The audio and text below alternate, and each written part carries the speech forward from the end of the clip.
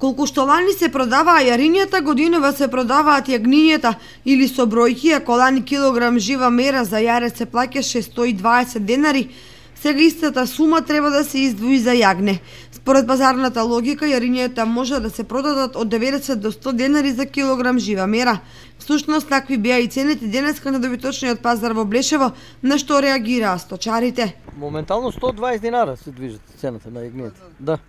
И па не знам, може нешто ќе се покачи сега тие денови пред празник. Ќе има може покачување, не знам како. Слабо оваа година, тешка, тешко биде оваа година, многу тешко.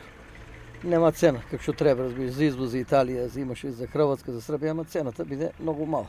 110, 100 динара, 120, најмногу до 120 динара достигна на пазар. Надејат се сточари, се разочари, оваа година се разочари.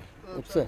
А прифатлива цената 140 до 150 динар да и се поисплате, значи, иначе оваа цена не може да обстане. Таа цена не, не во обстана. Тоа што уште повеќе ги загрижува сточарите е пазарната нелогичност кога се во прашање овие сезонски животни, бидејќи по завршувањето на велигденските пости и приближувањето на првомајските празници се очекуваше зголемена побарувачка и пораст на цените, што не се случи.